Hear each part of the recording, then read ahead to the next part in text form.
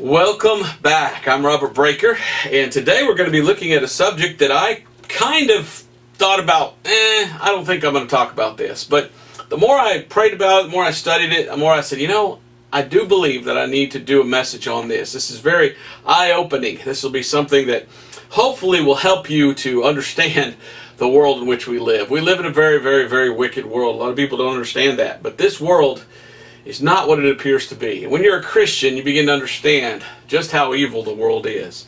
And so today I'm going to talk about something that a lot of people think is so nice and innocent and wonderful. And I hope I don't spoil it for you, but I feel like I need to do this message. I've had several people email me over the years and say, Well, Brother Breaker, would you please do a message on this?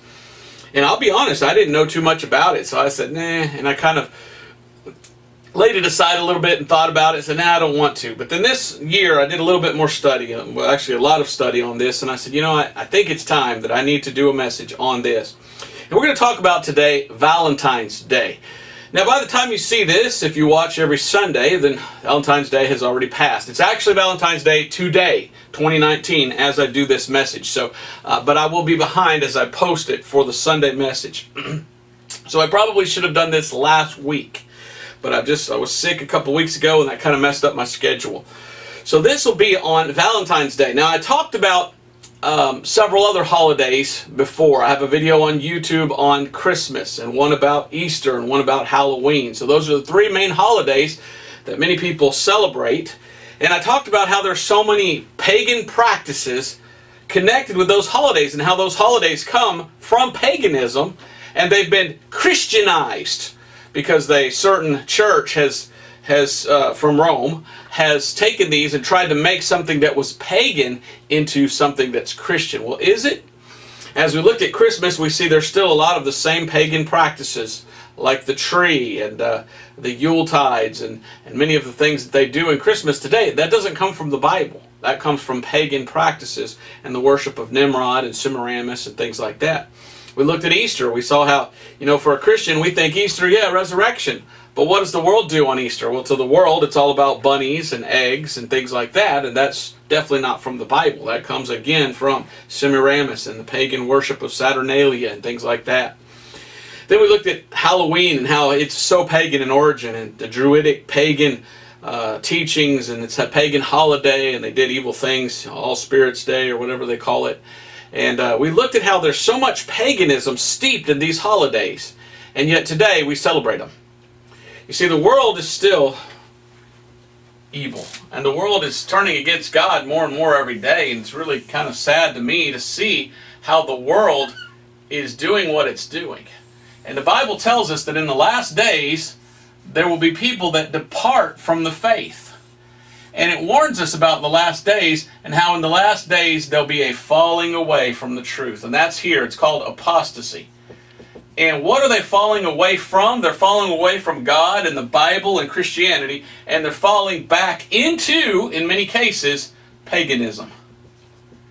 And paganism was alive and well way back here. And we're going to see way back here there was a lot of paganism.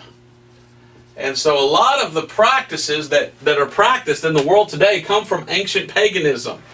Way back here in the time of Jesus and way before, the time of ancient Rome, a lot of paganism has come in to the teaching today. And the world, believe it or not, unfortunately is not getting more Christian. The world is getting more pagan.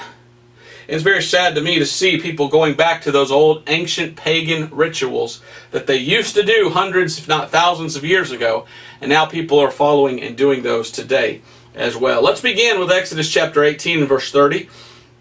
Exodus chapter 18 and verse 30. I know this is an Old Testament verse. The Old Testament law, God told the children of Israel, hey, don't learn the way of the heathen don't go the way of the, the Gentiles that aren't saved and learn what they do. God says, I'm going to give you a law, Jews, that you keep. And it's going to be a holy law, how to live a holy life. Don't be like them because they're unholy. In Leviticus 18.30, God says, Therefore shall ye keep mine ordinance, that ye commit not any one of these abominable customs which were committed before you, and that ye defile not yourselves therein. I am the Lord your God. So God says, look, Israel, don't be like these heathen, these, these pagans that were in the land before you. They defiled it with their evil customs, their sin. Jeremiah 10.2 says, learn not the ways of the heathen. And Jeremiah 10.3 says, for the customs of the people are vain. So God looks at the way that Gentiles did things and their festivals and their feasts and their rituals and God says they're vain, they're evil, they're wicked, they're abomin abominable. There's things that the pagans have done that God says, I hate that. Because that's not the way that God wants things done. And we're going to look at that today. Now, what does the Bible say in the New Testament for us? Well, in Romans 12, 2, it says, And be not conformed to this world, but be transformed by the renewing of your mind. So we're not supposed to accept the things of the world and just go along and do everything that the world does. We should always study. The Bible says, study to show thyself approved unto God. Workman needs not to be ashamed, rightly dividing the word of truth, 2 Timothy 2.15. So I've done some study, and I'd like to uh, say I appreciate the brother that, that sent me some of this material as well through email. You know who you are. You've called me, and uh, we've talked, and you've given me some information on this as well, and I appreciate that. So let's look at history. Let's look at Valentine's Day, the origin of it, and then we're going to, you know, show some Bible verses as well as we look at this thing called Valentine's Day. And the first thing I want to look at is where does it come from? Where it comes from. And when we look at where it comes from, we say, huh, it comes from something that's, that's not great. Where does Valentine's, this idea of Valentine's Day, come from? Well, it comes back to Rome. It comes from Rome. And Rome used to keep a feast and it was from February 13th through the 15th. But the big day was the 14th. And that's the same as ours is uh, on our calendar. Matter of fact, they worshiped a god whose name was Feburata. That's where the word February comes from, from one of the ancient pagan gods. So where does Valentine's Day come from? The origin traces clear back to ancient Rome. And actually before that, even with the Greeks, and we'll get into that a little bit maybe as well. But the Romans celebrated a holiday on February 13th through the 15th to honor their god Juno. Now, I don't even know where to put all this, so I'm just going to have to find space. I know I have a lot of space up there. But they worshiped a god named Juno. This is their goddess. So this was a goddess named Juno. And she was called the Juno fructifer, fructifer or the Juno feburata. So I'll write that up here. Feb Borada, Feborada, or the Juno fructifer. And this was the false goddess. This was actually the queen goddess of the entities that the Romans would have worshipped. And so the Romans worshiped this queen goddess of all of their gods.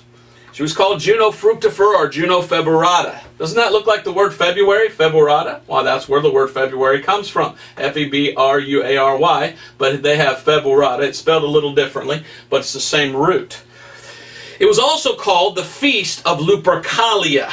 The Feast of Lupercalia. Lupercalia. This is from the god, the Greek god, Lupercanus also known as Lupercal. Now, that, that word there, lupe, that's where we get wolf from. And that's, if you know your science, if you studied biology and you know how there's a scientific Latin name of all the animals, well, uh, a wolf is luper, lupus, or lupus. Yeah, lupus, isn't it? So, lup, luper, or lupus, is for wolf. So they, they, they also called it the Feast of Lupercalia, this feast from the 13th to the 15th, in which they honored their god Faunus. So they had a false god named Faunus, F-A-U-N-U-S, Faunus. And so they honored this false god, who was the god of fertility. So the roots of Valentine's Day go clear back to Rome, and we find celebrated during that time a feast dedicated to Lupercal or Lupercanus, the wolf god. And the love was loving one another with sexual promiscuity or, or engaging in sexual activities, most of the time fornication.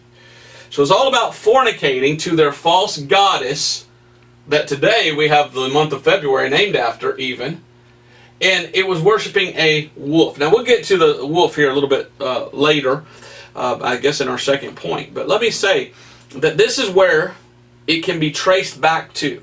Why February 14th? That's dead center in the middle of this feast of the Romans. And as we've seen, Christmas goes clear back to the Romans. December 25th was what? Not the birth of Christ. It was actually the birth of Saturnia or Nimrod. And it goes back to the worship of, of Nimrod. Uh, same with Easter. The worship is Ishtar, which was Semiramis. So all of these things, they go back to pagan Rome. So what we're going to find today is that Valentine's Day goes clear back to pagan Rome. And it goes back to a fertility festival honoring a false goddess and a false god. A goddess and a god. Reminds me of Nimrod and Semiramis. A god and a goddess. So it could be that's who it's talking about. So and, and it's going back to this festival of a wolf. Now, the second thing I want to say something else about this. Not only does it where does it come from, it's its origin we looked at the origin. The origin of this. So now we're going to look at how it comes from a pagan cult. And this is what this this festival of Lupercalia is. It comes from a cult. All right, it's called the Feast of Lupercalia, a feast to the wolf god, which was really celebrated on the 15th. Usually it was the day after. So you've got this 14th is more uh, for this woman, but it's all tied together as a feast, but it's three days. So all this ties together, this, this feast. It was the feast of Lupercalia, okay? To the Greeks, Lupercanus or Lupercalia, the Greek name for that god was guess what? The Greeks called their god Lupercanus or Lupercal. They called him Pan. The Greeks worshipped a man named Pan. Now, who, who is Pan or Pan? The Greek god Pan is a Greek god that is half goat and half human. And it goes around playing the pipes and it's got horns. But it's got cleft feet. It's a goat. It's actually Satan. And what you have here is you have the Greeks worshiping Lupercal or Luper, Lupercus, who was known as Pan, the god of light, by the Greeks. The Phoenicians called him Baal, the sun god. Now, who do we know who Pan is? the uh, Phoenicians called them Baal. And the Greeks called Pan what? The god of light. The Bible says that the devil is an angel of light. So we know this God here as the name of Lucifer or Satan. So if you put this all together, like I've done studying this out, really it's a pagan satanic cult. And these are all satanic rituals and the satanic feasts of the pagans because the pagans were devil worshippers. I know that's not a very popular thing to say today, but that's what they are. So today, we look at Valentine's Day, we go back at where it comes from, and we look at what it is. It was satanic in nature. Valentine's Day comes from the worship of Lucifer or Satan. And as we get into this study, look, I'm not going to try to convince you that you should or shouldn't celebrate this holiday, okay? But as we get into this study, we see more and more it looks like the way they worshiped back there is the modern way that Satanists worship the devil. And that's what I want to get to. So we've looked at the origin of this cult. And you know, all this stuff is on the internet. You can find it. And you can look this up. Uh, some of the, well, see, here's a lot of the things that I printed up off of the internet. And one of them was actually from the History Channel. And the History Channel has a lot of this information that I'm giving to you. So this isn't something that I made up or that I pulled out of some book somewhere that no one has ever seen. This is all common knowledge. People know this. And all you have to do is study on it and you'll find it. So we've looked at where it comes from. We've looked at how it's satanic in origin. It's actually a pagan cult of the worship of the god of light, little g, which would be Lucifer. So it's satanic in nature. Now let's look at the customs the customs that they did when they kept this feast. One source says that when the feast of of this time came, this this worship came, that men would sacrifice goats and run around with their skins on. Who worships goats? Why, the people that worship goats, that's Lucifer. The worship of goats, well, that's, that's Satanism. Have you ever seen what Baphomet looks like? It looks like a goat. Have you ever been, and I hope not, but if you ever been to uh, satanic rituals, what do they do? They like to dress up like goats. Hmm, that's interesting. So one source that I read said that these men would come and they would sacrifice goats and then run around with their skin on. They'd make little loincloths out of the skin and they run around wearing the skins of goats. That sounds very satanic. Noel Lenski, a historian at the University of Colorado, said the men were drunk. And during this festival, they would line up in long lines in order to have someone punch them or hit them. And, and so they would make a big line and say, hey, punch me. And they felt like that if they could take the punch, then that made them more fertile. It was all about fertility. What does that sound like to you? They're all drunk and they're all dressing up like goats. Sounds like a drunken frat party to me that, that people do today. Another source says that the Luperci, the priest of this Lupercus, would sacrifice goats and dogs.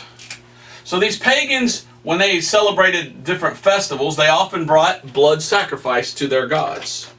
And they would sacrifice goats and they would sacrifice dogs. In the cave of Luper, Lupercal, on Palatine Hill, where the Romans believed that Romulus and Remus were raised by a she-wolf. They clothed themselves, clothed themselves with the skins, and they smeared the blood of the sacrifices on themselves. Then they cut the skins into whips and dipped them in blood and went around whipping the women with these whips, these thongs made of the skins of the animals, which, which were called in, in, in the, their language februa. Februa sounds like February. So picture this in your mind. They're all coming together, these pagans, killing animals, smearing the blood of the animals all over them, and dressing, when they were dressed. Uh, one source says they only made little loincloths, so they barely covered their private parts, with the skins of these animals, and then they're going around and they're whipping the women with the, the animals with the blood. The priest believed that the flogging of the woman purified her and guaranteed her fertility and ease of childbirth. So it sounds like to me the women wanted to be whipped. So the women were running to this and said, Oh, whip me, whip me. And the men were saying, Oh, punch me, punch me, and standing in line to get punched. So you've got people drunk and, and, and smeared blood all over themselves and, and, and whipping each other. Man, that almost sounds like S&M, you know, sadism, masochism. And they're covering themselves with blood. Sounds like Satanism. Sounds like to me this was a evil, wicked, pagan beast. And I don't see any other way to say it as a Christian than it was pure Satanism. The pagans worshiped the devil.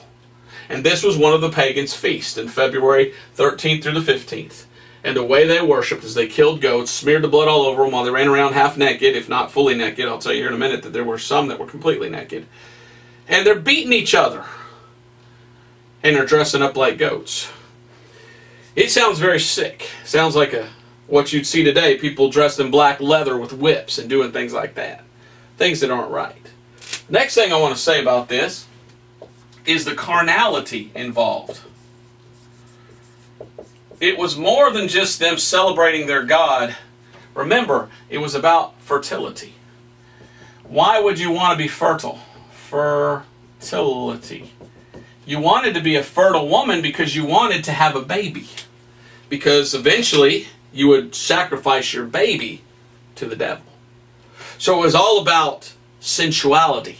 It was all about having an orgy or sex, uh, getting together and having sex, which the Bible calls fornication. And isn't that what Satanists do when they get together? Now, many, many years ago, I watched something, and I, to this day, it haunts me. I wish I had never watched this. But you know, I, I don't think I was saved at the time, and my buddy and I, we got together, and, and years ago you could go down to Blockbuster Video or one of these stores, and they had a video that you could rent called Faces of Death. Man, I don't even, I hate to talk about this. I hope nobody will, will look that up. But it was a video, and it was two hours long, and all it was was clips of people who died. And they literally saw them dying on film. You know, one guy gets run over by a bus and he dies. Another person falls out of an airplane and he, he bounces, and you, and you literally see the moment when he dies. Two hours of just showing people dying. I don't know how you could rent this. I mean, I, I utterly thought it was disgusting. But one of the things they did on that video was they showed a satanic uh, ritual. And they had a human sacrifice. Now, the person was supposedly already dead. I don't know. But they were showing what they were doing, and sure enough, dressed like goats, half naked, they were doing these things. And to this day, that still haunts me. I wish I'd never watched that. That was disgusting. But I, my mind went back to that when I started studying this. And I said, it sounds just like what these people did. They're dressing up like goats. There's nudity involved. There's sexual uh, misconduct. And it's all about worshiping their false gods. So this festival, this fertility festival, was all about being fertile to make babies. There was another name for this festival. It was called the Feast of Sexual License. Woodstock, I guess you could say. It was a place where you could come together and you could get together and hook up and do things that, you know, God says you're not supposed to do. Historian Noel Lenski again says many were not only drunk but also naked and they would run around naked with blood smeared all over them. There's also a matchmaking lottery in which men and women were coupled up together for the duration of the feast. The goddess Juno Febrada was also the goddess of febris, or fever, or love. What is that? Well, that's why do they say, "Oh, I'm so in love, I have a fever." Oh, you're so hot when someone is lusting after someone. You know, the Bible says it's better to marry than to burn. Where do these terms come from? Well, you get to burning in your lust. And so this was a festival all about lust and lustful hearts and, and, and desiring to have sexual relations with other people and committing fornication. It wasn't about true love. It was about free love, which is not love at all. It's, it's, uh, it's fornication. That's the only word I know. It's fornication. So they would come together, and now watch this. On February 14th, small pieces of paper were put in a container on which the name of a teenage girl was written. So all the little teenage girls would write their name on a piece of paper. The teen boys would then choose a piece of paper at random. These two would then couple until the festival was over. Yet the festivities included, and this is what they did, erotic games, drinking, nudity, feasts, and parties. So the women, the young ladies, I guess this is what they called the coming out party in the old days. The girls would come together and say, Oh, I'm a teenager and I, I'm a virgin. they'll put my name in there. and I'll draw somebody, or they'll draw me. And a young boy would draw her, a teenager. And then for this feast, they all had to stay together. What's going on in the feast? They're getting drunk they're getting naked. They're making sacrifices to false gods. What do you think's going to happen next? If they're already half naked and they're drunk, they're probably going to fornicate. And they often did because it was all about fertility. It was all about getting pregnant. The sooner you got pregnant, the sooner you would have a sacrifice to your false god of your first child. Which is what they did. And this, this is disgusting. This is horrible. I hate to talk about these things. But it's real. It's true. These things actually have people were really that evil. And here we are, thousands of years later, falling back into that same pattern and celebrating days that they celebrated. Now, hopefully you're not fornicating on Valentine's Day. I hope you're not. You shouldn't be. Hopefully you're not sacrificing animals and smearing blood all over you. So we're not there yet, but if the Lord should tarry, I can surely see how the world could get to that point. And they'd do the same thing over now that they did back then. Sounds like to me there's a lot of fornication. As I studied this, I was reminded of Israel. Do you remember when Israel, Moses was the one that, that uh, got Israel out of Egypt. But you remember about right here, the Exodus? And when Israel left Egypt, do you remember what they did? They went out in the wilderness for 40 years. And God was giving the Ten Commandments and all these other commandments to Moses. And what did they do? They said, well, I guess our God's forgotten us. So they said, Aaron, build us a calf. And what did they do? They, they worshiped this golden calf. And then in Exodus 32, 25, the Bible says, Moses came down and Moses found them And he says they were naked and they were partying around this false god. Sounds like this feast of Valentine's Day was, or Lupercalia, or whatever you want to call it, sounds almost like that back there. So this probably didn't start with the Romans. It probably started before that with the Greeks, and even probably before that with the Egyptians. And if you believe that book that I've shown you um, before, The Two Babylons by Alexander Hislop, he's done a lot of work to show that all idol worship comes from ancient Babylon. So all this comes from Babylonian idol worship and Babylonian uh, evil um, sex practices and, and uh, false gods and things like that. What does the Bible say? Should we do this? Should we get together and lust in our heart after somebody else and just, just hook up with them and have sex with them outside of marriage? No. The Bible says in 1 Corinthians 6.18, flee fornication. And then again in 2 Timothy 2.22 it says, flee youthful lusts. Well, it almost sounds like God knew that this was going on when he wrote the Bible. Because this festival here, it was all about the youth hooking up the young teenage girls hooking up with the young teenage boys. You know, almost like a college frat party or something like that. Getting drunk. So, is that what the Bible says we should do? Not on your life. Not on your life. You know, there's a guy named Cupid. Have you ever heard of Cupid? This is so interesting when you study all this and, and bring this all together. What was Cupid? Well, Cupid's supposedly this guy that has this bow and he shoots this arrow and when he shoots this arrow, well, what does it do? Why, it instantly makes you fall in love. Or does it? It makes you fall in lust. And when you come and you and you and you get the arrow shot by Cupid, well then you just you can't live without that other person. What is that? That's lust. The word Cupid comes from the Latin cupere. C U P E R E. This is the Latin word in which the word Cupid comes from. Do you know what cupere means in Latin? Cupere means desire. So if old Cupid comes along and shoots an arrow while he fills you with desire, what kind of desire? Well, we today, we say, well, you just love them. No, sexual desire to want to fornicate with them, because that's what they did back then. Should we go around and fornicate? The Bible says no. Hebrews 13, 4 says, Marriage is honorable in all, and the bed undefiled, but whoremongers and adulterers God shall judge. Let me show you something interesting here.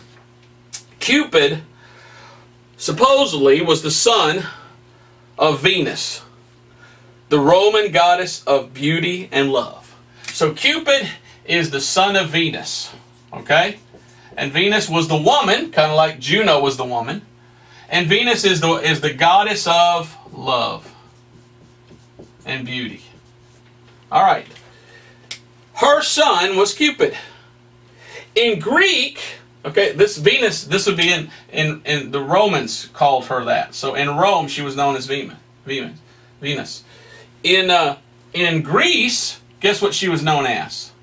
See, as you study this out, all these gods, the Romans accepted many of the gods of the, of the Greeks. So you, there's a Greek name, there's a Roman name, same God. The god's name, or goddess's name, Venus, in Greece, uh, was Aphrodite. Aphrodite. Aphrodite.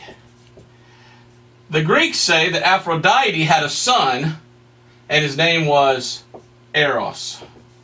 So in Cupid is coming from the Roman name for Eros from Greek. So Cupid is Eros. We have a word in the English language, it's called erotic. When something is sensual and, and, and something is meant to make you have desire, sexual desire, stir up passion in you, we say that's erotic. Where does that come from? Eros, Cupid. You know, Cupid isn't just this just this innocent person going, boom, now they'll just love each other. He's a devil. He's going around trying to shoot people and fill them full of sexual desire so they go and fornicate and worship a false god. I mean, I can't make this up. That's what it is. So Cupid's arrow incites lust, not love, in a person. Intense desire and passion. It's not about love, it's about lust. But today, why we, we put a good package on that old pagan rituals, don't we? While we say, oh, it's not about lust, it's all about love. No, no. This whole thing is all about lust. And yet today we try to say, oh, it's all about love. But the real love is the blood of Christ. Greater love hath no man than this, that he lay down his life for his friends. Jesus loved us enough. He died for us. He shed his blood on the cross for us. That's where true love is. There's a difference between love and lust. Love says, what can I give this person? Lust says, what can I get from this person? What can I take? And so these old festivals, they were all about how a person could get sexual desires met through fornication and, and living a, a, loose lifestyle of, of just a wicked, evil ungodliness as they committed acts of fornication. The next thing I want to say about this is Valentine's Day is how Catholicism has taken this and tried to repackage it, just as it always does. Catholicism, I have told you before, is mixing Christianity with paganism. If you don't believe me, go see my uh, live stream that I did not too long ago about um, about denominations, and I talk about how in 325 AD, 325 AD, that's when the Catholic Church officially started, and it was a joining together of the Roman Empire with Christianity, and it called itself the Roman Catholic Church. And so what they did is they took all the old Roman practices and they Christianized them, and they tried to change it around. And that's what happened here with this thing called Valentine's Day, and I've got lots of sources here I want to read to you because Valentine's Day, have you ever heard Valentine's Day called Saint Valentine's Day? They always put up here this Saint Valentine's Day. Why does it have a saint? Why do they call it Saint Valentine's Day? Well, the Catholics try to saint everybody. They just want all these people to be saints. And let me read you some things here about how Catholicism has come in and taken this old pagan ritual and then tried to make it something Christian. Okay, um, they call it Valentine's Day, but no one knows for sure who Mr. Valentine is. There's actually two or three men named Valentine. So it's still to this day a debate which Valentine is it. According to one story, Roman Emperor Claudius II imposed a ban on marriages because too many young men were dodging the draft by getting married. Only single men had to enter the army in that time. A Christian, a so-called Christian, a Christian priest named Valentinus was caught performing secret marriages and was sentenced to death. While awaiting execution, he was visited by his young lovers with notes about how much better love is than war. Some think of these love letters as the first Valentines. Valentinus' execution occurred on February 14th in the year 26, uh, 269. So a lot of people say that's why it's called Valentine's Day, because of that. Well, Rome killed them. Another one says, um, another Valentinus was a priest jailed for helping Christians. During his stay, he fell in love with the jailer's daughter and sent her notes signed from your Valentine. He was eventually beheaded and buried in the Via Flaminia. Pope Julius I reportedly built a basilica over his grave. See, all this comes from Catholicism. Uh, in 469 AD, Pope Gelasius declared February 14th a holy day in honor of Valentinus instead of the pagan god Lupernicus. So the Pope in 469 AD says, well, we're going to make this Christian, even though that's when they worshipped. We're going to take the same day. We're just going to change the name. How about we just forget it altogether? No, no, we can't do that. We, we still got to have the day, so we'll just keep the day. We'll just, from now on, say, uh, we'll celebrate it for this other guy. He also adapted some of the pagan celebrations of love to reflect Christian beliefs. For example, as part of the Juno Februata ritual, instead of pulling girls' names from boxes, both boys and girls chose the names of martyred saints from a box. So it's, it's all this pagan practice. They say, well, let's just change it enough to where it's no longer satanic. But yet you're doing some of the same customs that they did. You're just doing it in a different way. So on and on and on. Uh, there's a lot more I could read there, but let me go to the next point here. Later, Pope Gelasius the First, Gelasius the First, muddled things in the 5th century by combining St. Valentine's Day with Lupercalia to expel the pagan rituals. But the festival was more of a theatrical interpretation of what it once been. Lenski adds, it was a little more of a drunken revel, but the Christians put clothes back on it. That didn't stop it from being a day of fertility and love. So the Catholic Church says, no, you can continue to remember February 14th Just don't do all the things they did. And so people say, okay, we won't get naked, we'll just get drunk. and so a lot of people did. And they began to celebrate, oh, we'll celebrate love, but they, they're still using the same date. And they're still using some of the same practices. Let me read you another thing. In AD 494, Pope Gelasius renamed the festival Juno Febrata as the Feast of the Purification of the Virgin Mary. Okay, remember I told you they would go around with whips and they would whip people with the skins and so they're going around whipping them with the skins and they're getting the blood all over them. And they say when they were whipped, that's how the woman was purified. And that's how she was now fertile. She got purified by being whipped. So the women wanted to be whipped. Well, the Catholic Church says, well, you know, they talk about being purified. Well, just talk about the purification of the Virgin Mary.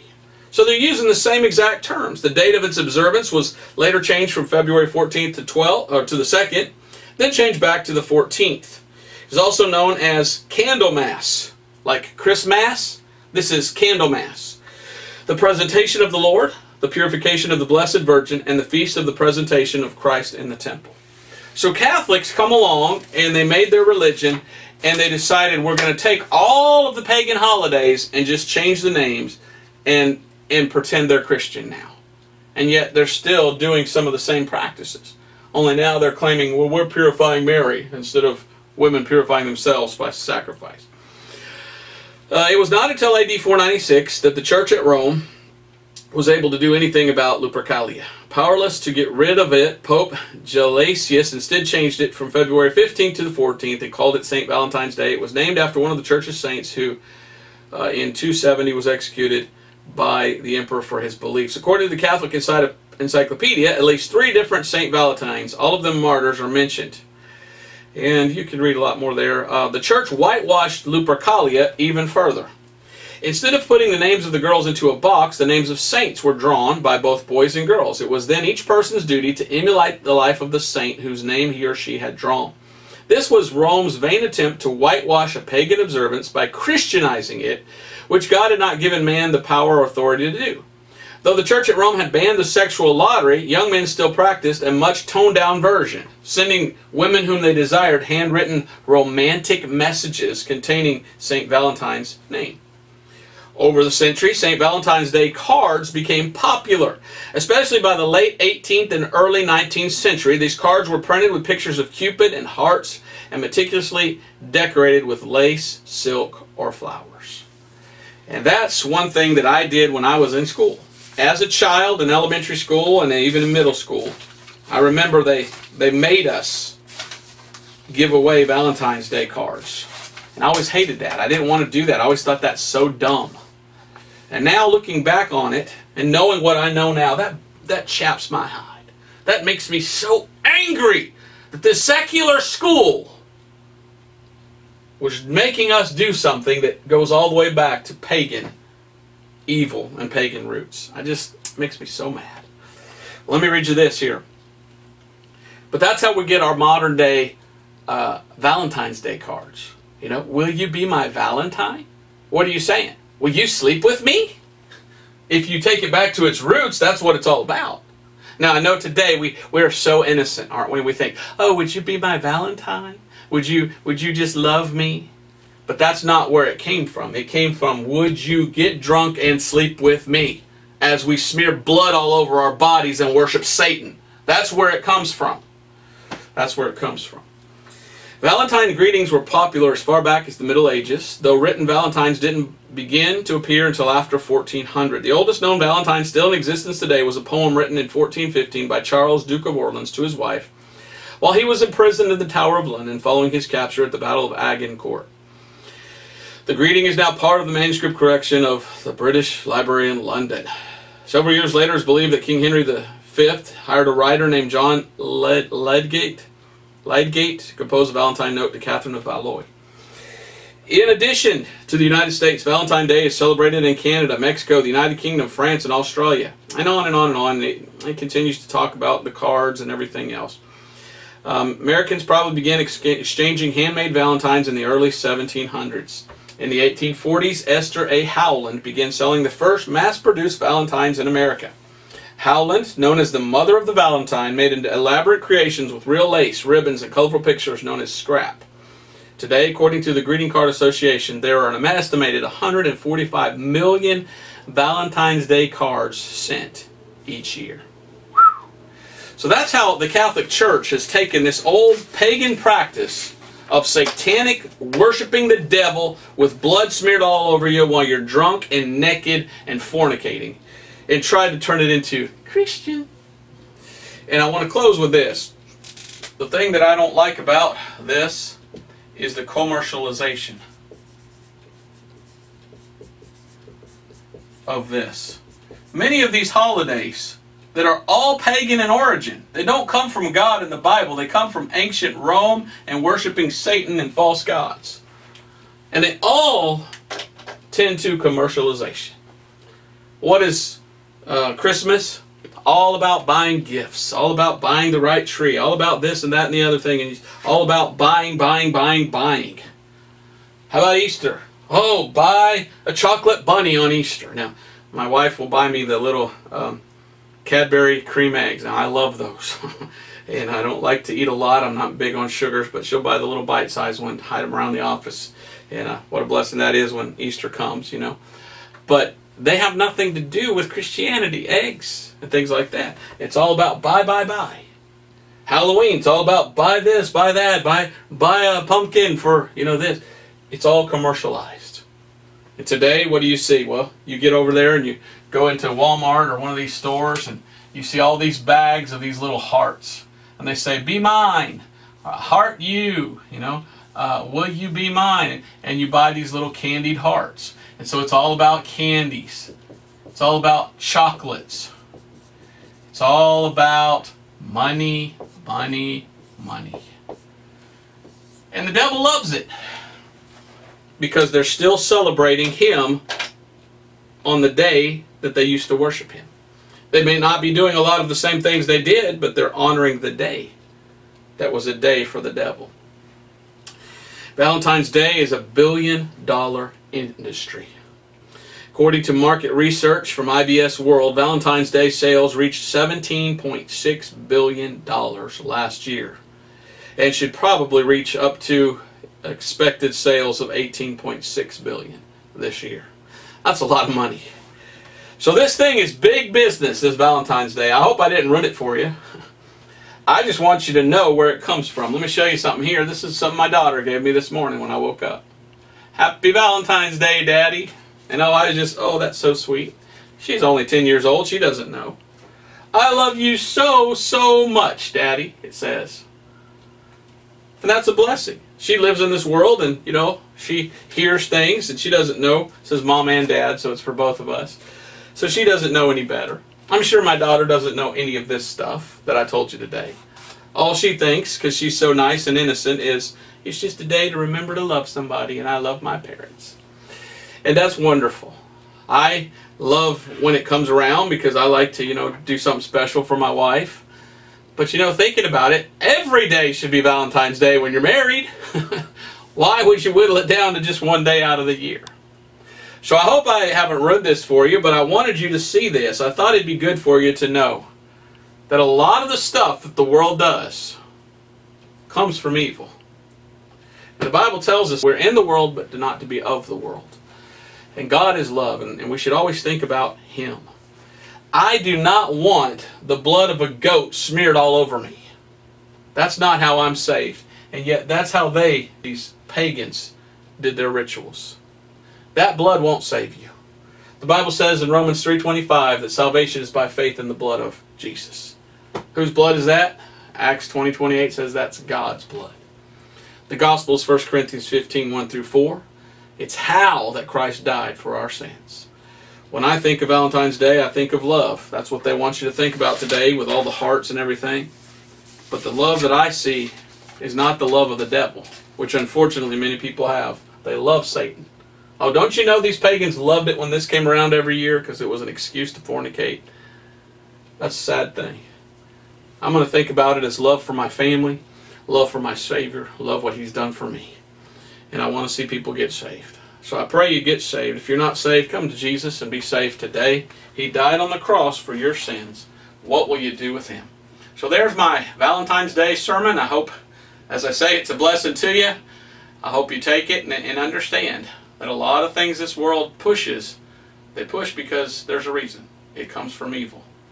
And we need to go towards good and not towards evil. So have a good day. Thank you for watching. God bless.